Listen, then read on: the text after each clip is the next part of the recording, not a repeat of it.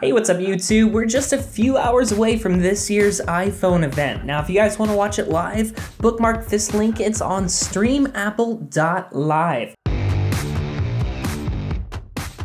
We'll see you there in just a few hours where Apple this year is announcing four new iPhone 12 models, new iPhone charging accessories, as well as a HomePod mini. Now the latest leaks suggest the iPhone 12 lineup is likely to feature faster Face ID, improved zoom, and a longer battery life. Again, check out this spread right here of the full spec lineup that was leaked last week.